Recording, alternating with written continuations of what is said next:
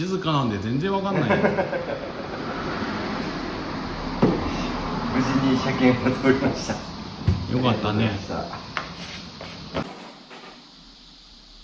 じゃあボンネットのは外し方のコツ。を言っときます。あそっち外して。クラムシェルはここがすごいギリギリなんでコツがいるんですよねここを外してこれをここの隙間を通さなきゃいけない。こうこうは抜けないのででこっちはここの隙間を通さなきゃいけない。これを。これがね難しい。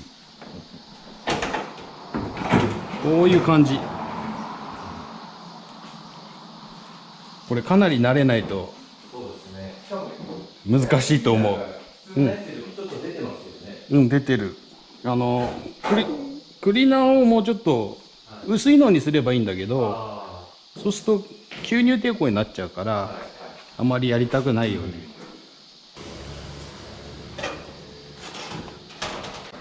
俺のやつはバイクの後ろブレーキのやつをつけてあるんだけどもこれすごい簡単なんでこれねいいいいよトラブルも皆無だしね。うん。うんここにちっちゃい穴を開けて、うんうんここに大きい穴を開けて、うんでくっつけてうん閉めるだけ、うんうんこれこれだけなんだよね、うん。だから指定とか何も使わなくていいし、穴を開けるものがあれば。すごくいいよ、うん、でこのネジでカバーがははまってるけど、うん。これプラスネジじゃないからね、あのポジドライブっていうへんてこなプラスネジ、なんでこれ専用のあのドライバーじゃないとダメです、あの普通のプラスネジでやるとどんどんどんどん山が削れていっちゃうんで、まあ俺のやつも結構前のオーナーの時代に誰かがやって、どんどんどんどん削れちゃってるんだけどもこれねなかなか手に入らない、このネジがちょっと俺もね探して全部新しくしたかったんだけど、見つけられなくて、多分ミニ屋さんかなんかであるんじゃないかなと思うんだけども、まあそのままです。こっちが普通のドライバー。グラグラ。こっちがポジドライブね。これもちょっと精度悪いけど それでもかなりいい方。だからねこっちをわざわざ買わないとダメですまあここぐらいしか使ってないと思うけどね。このために買わなきゃダメです。ほんであの問題のブレーキペダルを押す時にケーターハムってこれね本当はここにねノーマルはここにくっついてるのね。うん。ここのシャフトが。これすごい重要なんだけど、ここについてると斜めに押してんのよ、なんでそんな設計するのかって、まあイギリス人に聞きたいんだけども、これだとあのピストンとか片べりしちゃうので、まあ分解してみると分かるけども片方だけ減ってんのよ、だからまっすぐ押せるようにここにもう一個ね穴を開けた方がいいです。あのブレーキの利きがね全く違う。こここにつけたのとここにつけたのと。すここが垂直に。あのうん。水平うん。ここここピストンをまっすぐ押せるようにここにもう一個穴開けるのよ。これもね加工すごく簡単だし効果がものすごく高いからやった方がいい。あのあのセブンも俺はやってあるけどもこれね気づかないで乗ってる人がほとんどだと思うんだけども絶対良くないからこう斜めに押してると。簡単だからやった方がいい。あのこれやるとねブレーキの効きが全然違う。ギュッて効くようになるよ。何で穴開けるんですか？うん普通のドリルで。あドリルで。うん。簡単に開くうんそうだね。10分ぐらいで終わるかな。うん。でグローブ買いました。これはヤギ製。ヤギヤギ革製のそっちよりちょっと安いやつ。え3289円のやつです。うん。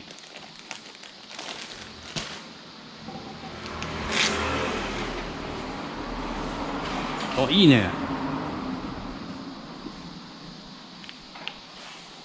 もうぴったりフィット。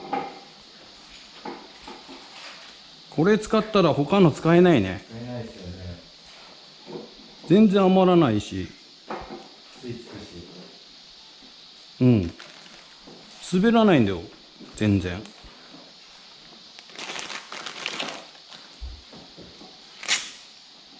素肌感覚。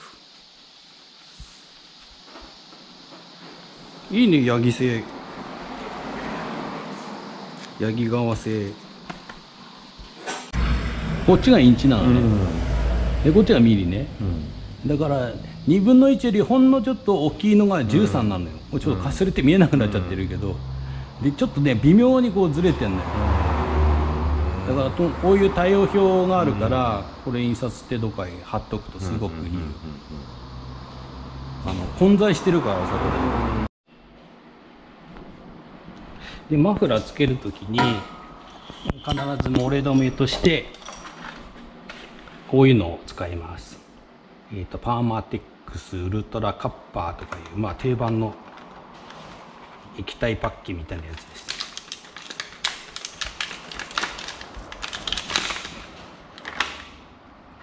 でこれねあのここがね特に重要なんだけどここにあの排気漏れがあると低速トルクが全くなくなります。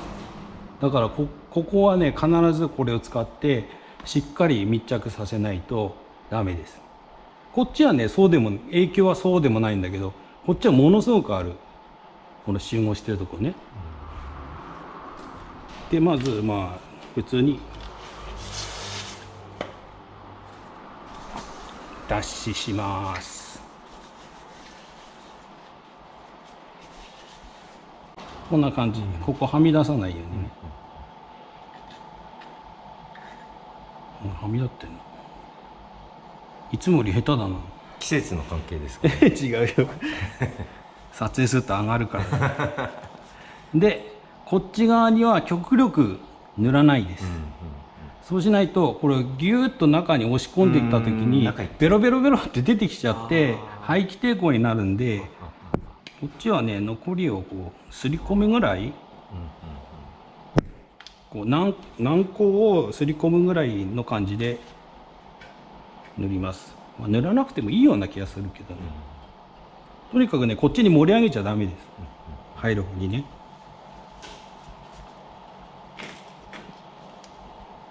でこれを入れます。スポッと入れてそっと。穴に合わせて。はいでこれがだいたい水平ぐらいになるぐらいかな。でここでナットを締める、はい。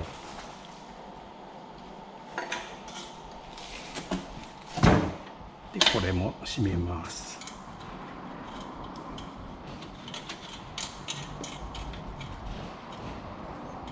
本当はもっとぐちゃってここが出てくるんだけどね。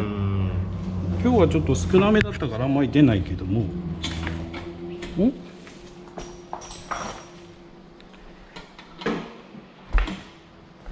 分の12分の1ででこれを締めます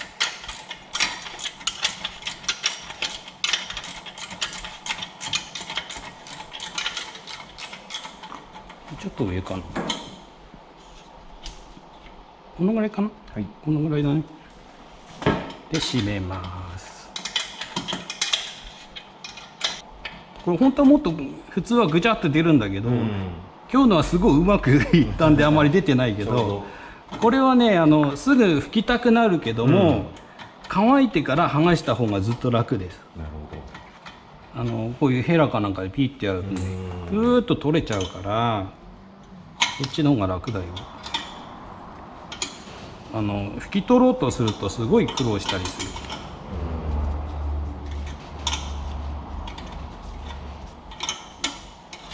で走るとね少しずつ出てくるのね、そしたらまたあのなんかドライバーの先かなんかでピッピッてやると取れるからそれでやって。はい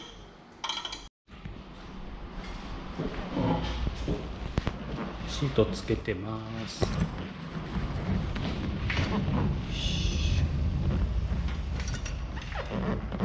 これ多少リクライニングするといいんだけどね。ああそうですね。うん。前後ですもんね。しかもその前後の幅もめっちゃ少ないですよね。うん。やっぱ後ろに手が入るじゃん。うんうんパターンって倒れたらさ、いいじゃんでもこのシート意外と乗り心地がいいっていうか、形状がいいよね。いいですね。うん。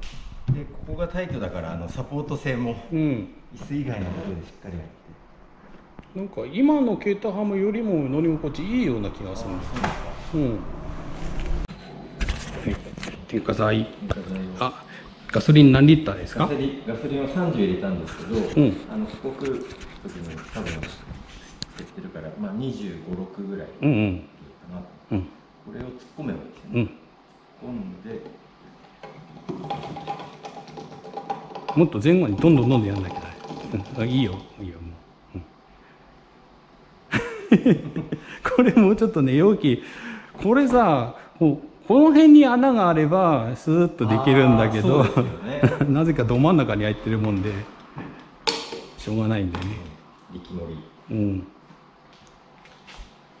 まあ安いから文句は言わない。すごく安いです。どうでしょう、うん、ギュッと押さえてからこれを押す、うーん。ただここを押した押すとすごい硬いじゃん。うん。硬いからこれをグッてやるとこの爪のとこ浮くからね。簡単に外れるのど、ね。うんうんうん。でこうなんじゃ開ける時もじゃあそこを押すと。うんだから閉める時もこうやってこうやってここを押すのよ。うん今入ってないじゃん、ちゃんと、うん。こうね。うん。こんな感じ。でこうやって。こういう感じ、そうするとちゃんと入るよ。パッキンもされると。うん。はい。へえ本当何でもありますね。何でもあるっていうかこれ仕事の道具だけど。そうなんですか。これはねよく使う。へえこれがブラインドリベットっていうんだけどはいもう持ってこれがね表からかしめられる不思議なリベットってやつで、こうやってやってみるね。入れるじゃん。は穴に差し込むのよ。いうん。でこれ逃げるでしょ、うん。これ見えるかな？カメラで。そう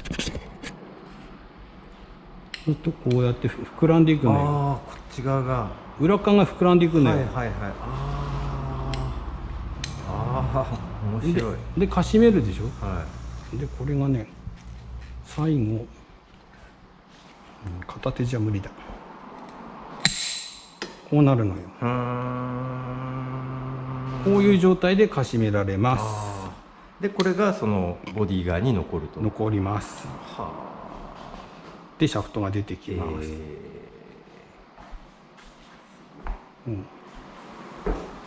でそれをやるとこんな感じになるわけね。うんうんこのこんな感じね、これは4ミリの太さのやつを使ってます。これがいるん。だでこのシートの下がちょっと飛んでるから1箇所。今からつけます。はい。えっとよえカメラに映るかなこれ。ここ飛んでますでこれをギュッてやって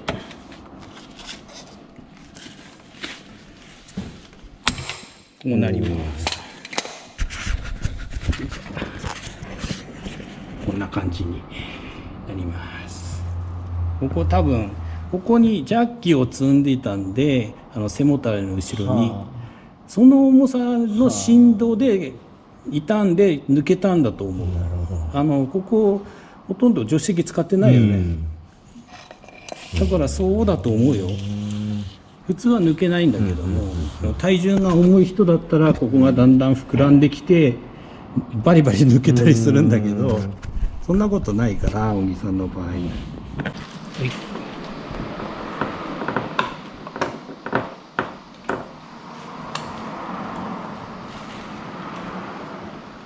エアクリーナーを外しますはいはいはいはい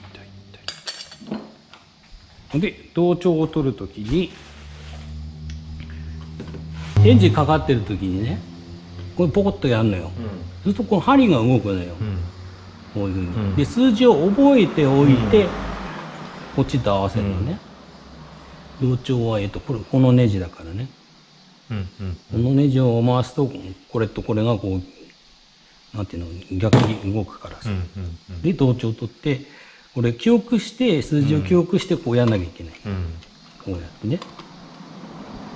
これ例えば4本あるじゃないですか同調うん。その調整するのはこの1本のネジで。ネジだけ。こここっちとこっちは別々に、基本的にはしょあの一緒で動くんで、あの普通やってる時はここだけでいいのね、ここのキャブとこのキャブの同調を取るって感じ、で丁寧にやる時は、こうこの2つのやつも調整できるんだけど、うん。それにはここにねあのスパナを、ん。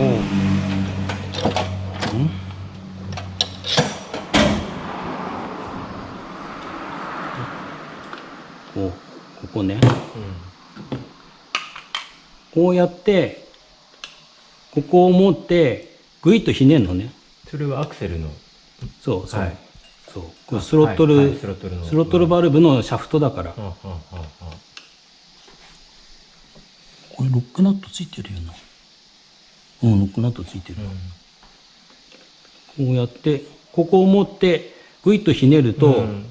割と簡単にずれるのね、うんあのこのシャフトってわざと柔らかい材質で作ってあるんだと思うけど調整できるように、もう糸も簡単に曲がっちゃうからね、えねじれちゃうれから。は、えっと、単体1個ずつの調整。うんそう。これとこれの調整をし,、したい場合ね、うん。こっちも同じなんだけど、ノズコを外してやる。うん。でもねほとんどやらなくていいいい。と思う。でよっぽどずれてたらこっちとこっちとねやんなきゃいけないけど、普段はあのここのネジの調整だけでいいと思う、うん。そのなんかずれてるなって感じるのってどういうポイントなんですか？うんうん。とね。キャブの調整が必要だな同調が必要だなと思うあのこれは言葉で説明するの難しいけど、うん。なんかね2気筒で走ってるような感じ。へー。4気筒なんだけど2気筒のような感じひどくなると本当に2気筒になってうん。ブブンブブンブブンブブンブブンってなるんだけど音がね。うん。今今は調子いいからブーンってなってるでしょ、うん。それがブブンブブンブブンブブンブブンブンってなるからその時は完全にもうこれこっちの調整がうん。同調が取れてないからでそうその時はやんなきゃいけない、はい。でもねそんなに言うほどずれないよ。そうですよね、うん。だって1年間乗ってきたけど触ったことないですもん、うん。ここをまあ締めるぐらい？そうだね。ううん。ん、砂糖だよ。はい。とあとこの間のうん。車検の時にここの4本を。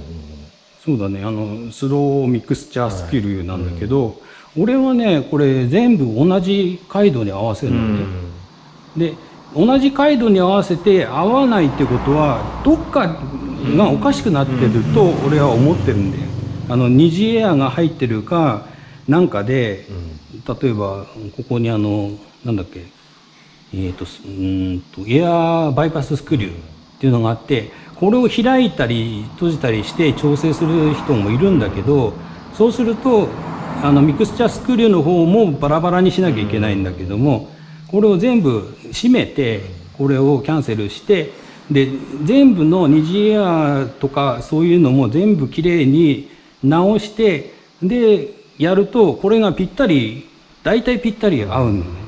あの戻し量って、だから俺はそっちを優先してる、あのうーんとこれをバラバラにしてなんとか辻褄合わせて合わせるんじゃなくてキャブ自体をきれいに全部中もオーバーホールしてね、できれいにしてあの二次エアのあの具合も良くしてで全部がきれいに合うようにしてでミクスチャースクリューも同じ回路できちっと合うように俺はしてるんだよね。んで多分そっちの方がいいと思う。で大事なことなんだけどもこれなんだよ問題は。このネジガソリンが来てんだけどもここにあのガソリンの圧がかかってんのね。でこここにあのえあの紙のワッシャーが入ってんのよパッキンが。それでこれをギュッと締めると切れちゃうじゃん？紙だから。だからギュッと締めるわけにいかないし緩めるわけにもいかないんであのここがねウィークポイントなんでウェーバーキャブの。これが緩んじゃうとガソリンがブヤって吹き出してで下に火花が飛んでるもんでここから燃えると。だからここをワイヤリングしてある。これはね絶対やった方がいい。ここのトラブルで燃える人多いと思うよすごく。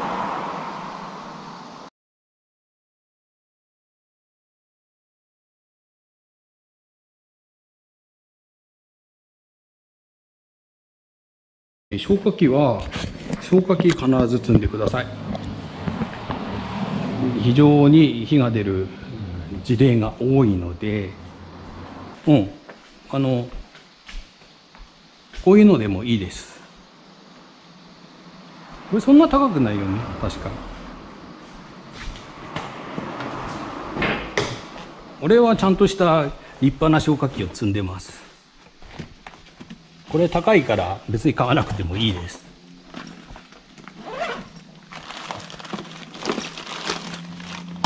であとこういうのね、うん、これ安くていいと思う。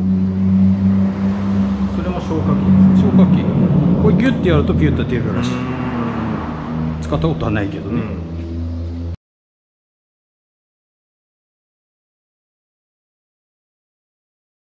あの粉消火器は使わないでください。あの燃えちゃってもう全焼するっつったらもうしょうがないから粉粉消火器かけてもいいけどできる限り粉消火器はやめてください。そうしないとエンジンがサビサビになって大変なことになります。強い酸みたいなんで粉消火器って。でクラッチワイヤーは必ず切れます。道端で突然切れます。そういう車だと思ってください。だからスペアは必ず積んでいること。で平時に練習しておくこと。そうしないと道端でひどいことになります。俺も切れたことがあります。モンキーレンチ車載2本必要です。でこれがクラッチワイヤーなのでこれがこれをたどってって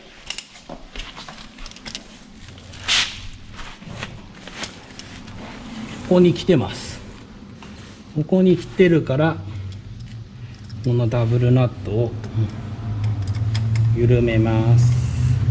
緩めますっていうかもう切れてる時はこれ緩めなくてもゆるるなんだけどもまあクラッチの調整とかもたまにやるのでそういう時は緩めなきゃダメです。でこの内側のナットなんだけどもあのここが熱いと入らないです。そういう時はこれを引っ張れば出てくるので楽々入ります。ちょっと待ってよ。こんな感じでね。で、こっち側をこうやってまあ緩めると。れを。緩めたらくりくりくりくり回してゆるゆるにすると。でここにゴムが入ってるんだけども。ここにゴムのブーツがあります。見つけるかなここにゴムのブーツがあってこれを抜きます。ここにこう金具がこの字になって入ってるのでこれをギュッとしてギュッと潰して抜く。抜きます。そうするとこれがブーツが取れます。ここに金具が入ってるの分かるかな？ね、入ってんだけどこういうふうにこの字になってここが L 字になってこれが引っかかって抜けないようになってます。でこう見えるかなこれ。ワイヤーはこっからここを緩めるとこれが出てくるので向こうにやって向こうにやるとこっちが穴がでかくなってるから抜けます。でワイヤーを交換すると。であとは元通りにするんだけどこのゴムのブーツがすごくあの入れにくいのでコツがあるんですよ。これはね真ん中の金具をまず入れる。金具を入れます。入れますと言ってもこう無理にでも入れちゃう。で後から周りを周りのゴムを突っ込んでいく。そうすると簡単に入ります。これを端っこからこう順番にこう金具えっ、ー、と金具とあのゴムの部分を一緒に入れようとするとすごい大変なのでまずまず金具の部分をギュッと入れてしまってこうはみ出してるやつをグイグイグイグイ押し込む。そうするとすぐ入ります。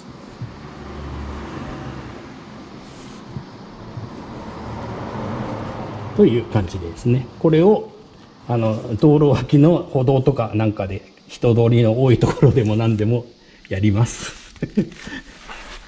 あのよっぽど暇な時に自主練してその方がいいかもしれない、ね、うん、はい、ありがとうございます。まあ素直に JAF 呼んで水彩写する、する。うん。俺は寝転がってやるけどね、その方が簡単だから。そんなのはトラブルのうちに入らない、あのセブン乗りでは当然のたしなみであります。整備終わったので最終チェックします。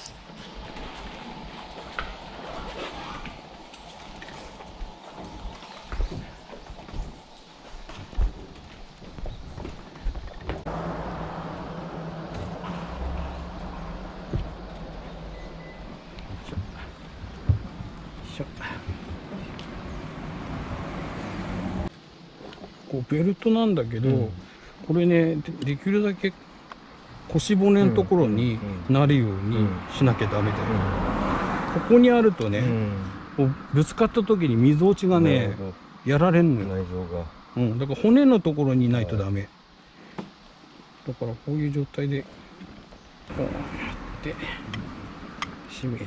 とにかくね腰のところはギュッと締める、待ってクラッチです上のポジションはこのぐらいだから、うん。うん、こうなって。もっと立て。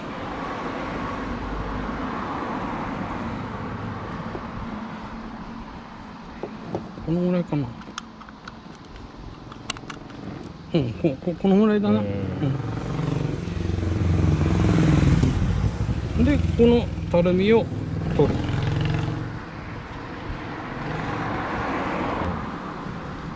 ベルトを取るこんな感じでこれこうこういう後ろにねやってこれを締めてから前にキュッてやるとそうするとここが閉まると、まあ、本来はそういう使い方をします。でも俺めんどくさいからそのままやってます。でこれがね風でねペチペチペチペチやるんだよ。なりますね。だから俺ここね安全ピンで止めてる。もっといいのがこうこういうのありゃいいんだけどさ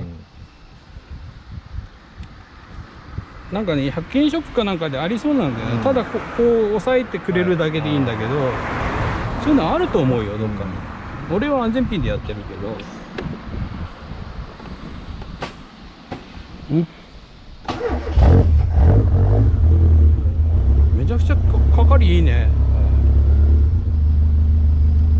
ああ懐かしい音。この車検のシール邪魔だよねここねひどいよねこんなとこでつけるって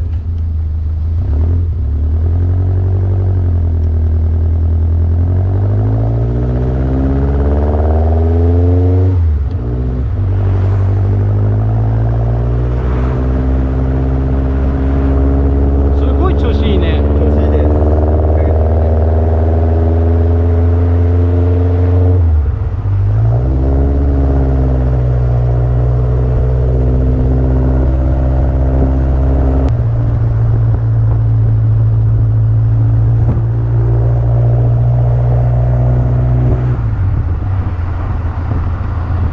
何の問題もないねウインカーも大丈夫ですうんついてるねうん大丈夫だよあちょっと早い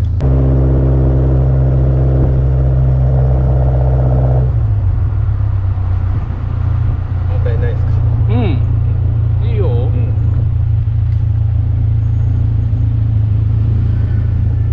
ちなみに俺常時ライトつけてる。つけてる、はい。バイクと同じ感覚で向こうからこっちは見えてないんだよ、はいはいあのこんな形の車が走ってるとみんな思ってないからあの屋根がついてないと屋根が見えないといないと思ってるからさ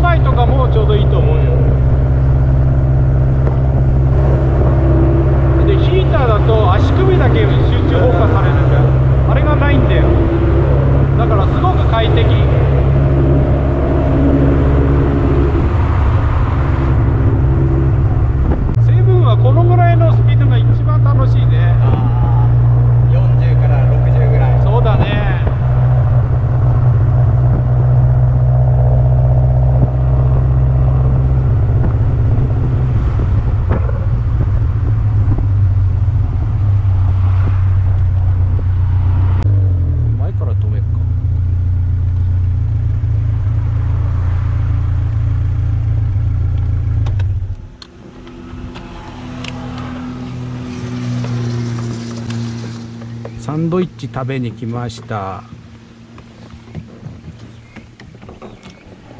宮ヶ瀬湖です。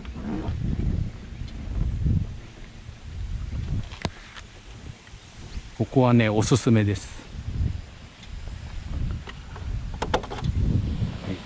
はい、あのこれもいるんだっけ、はい。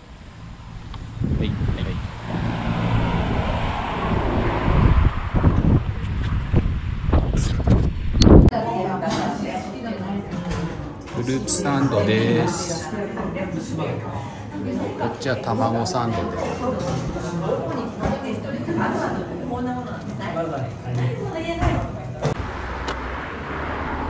これねあのウインカーのトラブルがあったら必ずこれをバチバチやって、うんうんうん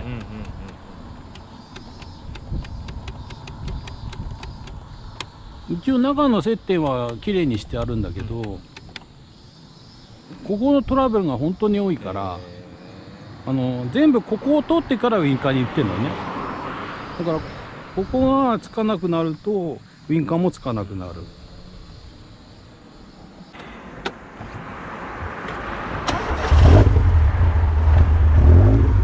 めちゃめちゃかかりいいね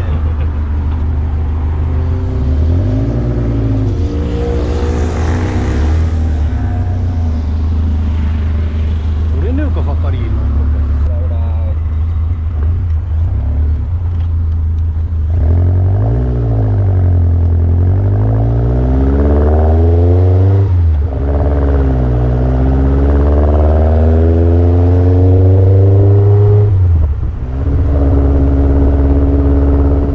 ありがとうございました師匠のおかげでまた快適なセブンライフが送れます。ありがとうございました。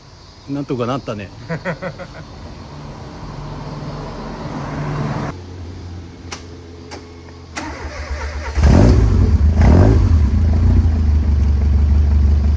えー非常に調子がいいです